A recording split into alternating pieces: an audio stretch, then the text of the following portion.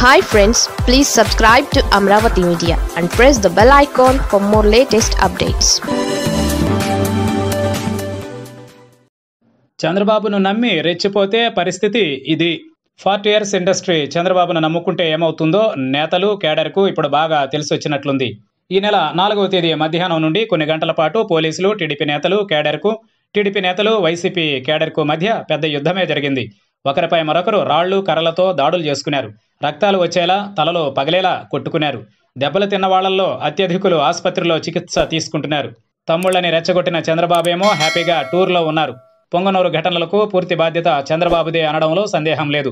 Punganur bypass road మీద నుండి నేరుగా చిత్తూరుకు వెళ్ళాల్సిన చంద్రబాబు సడన్గా పొంగనూరులోకి ఎంటర్ అయ్యారు. పట్టణంలోకి చంద్రబాబును ఎంటర్ కానియకుండా పోలీసులు అడ్డుకున్నారు. దాంతో నేతలు కేడర్కు మధ్య గొడవలయ్యాయి. ఇంతలో వైసీపీ నేతలు కేడర్ అక్కడికి చేరుకుని పోలీసులకు మద్దతుగా నిలబడ్డారు. దాంతో టీడీపీ నేతలు కేడర్ ఇటు పోలీసుల మీద అటు వైసీపీ శ్రేణుల మీద ఏకకాలంలో దాడులు చేశారు. దాడుల్లో రెండు వైపులా చాలా మందికి గాయాలయ్యాయి.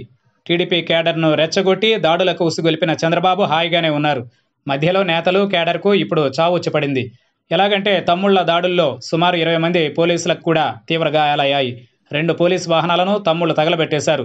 పోలీసుల మీద దాడులు చేసిన వాళ్ళను వాహనాలను తగలబెట్టిన వాళ్ళను పోలీసులు గుర్తించారు. మొత్తం అల్లర్లు వీడియోల్లో రికార్డ్ అయ్యాయి.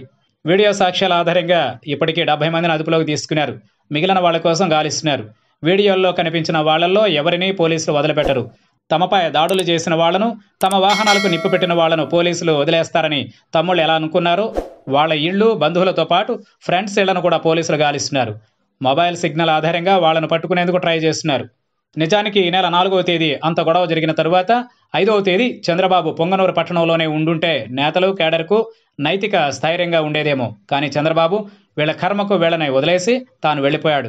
చిత్తూరు శ్రీకాళహస్తిలో పర్యటించారు. పొంగనూరు అల్లర్లలో పాల్గొన్న వాళ్ళంతా ఎక్కడ దాక్కోవాలో తెలియక నానా అవస్థలు పడుతున్నారు.